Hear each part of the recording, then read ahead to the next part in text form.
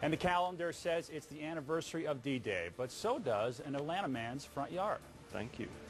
There's, there's, it's grossly inadequate, but uh, thank you, and we won't forget about you.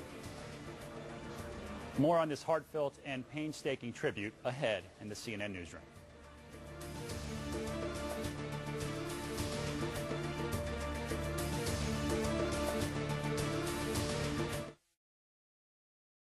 D-Day, June 6, 1944, a day that saw more than 150,000 Allied troops sail across the English Channel and 13,000 paratroopers drop from the skies. Destination, the beaches of Normandy, France. The mission, defeat the Germans. By nightfall, more than 9,000 Allied troops were dead or wounded.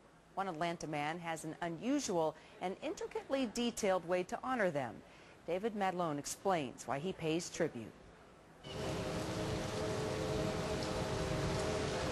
Well, it was actually inspired by Saving Private Ryan and the scenes in it where old Ryan is back in Normandy looking at all the crosses and bringing back all the memories of the battle. And I started thinking how there's probably you know, a lot of veterans around that have not been able to make the trip to Normandy and probably can at this stage of their life. And this would give them a little taste of what it would be like to see the monuments. I kind of started thinking it out and thought, well, there's, there's a similar thing that could be done for the Normandy monuments. And it kind of grew from there. And people have helped uh, in setting it up and donating materials.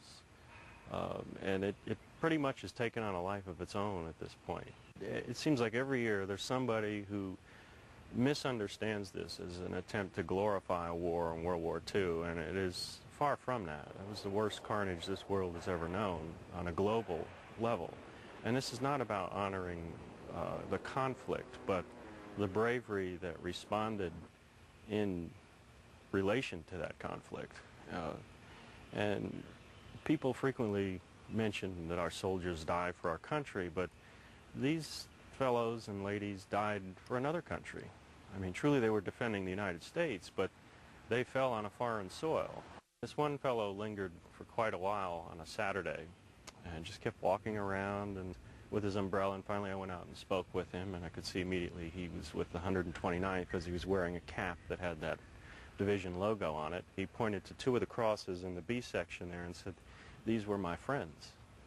Well, the biggest, I guess, reward I get out of it is when I see an older person strolling around here, and you can just tell they're back in that time. Good, bad, or indifferent, their past is important to someone and to a community that remembers it. Well, Madlone says that he plans to do this every year in hopes that more veterans stop by for a visit. You can actually check out his website, dday0606.org.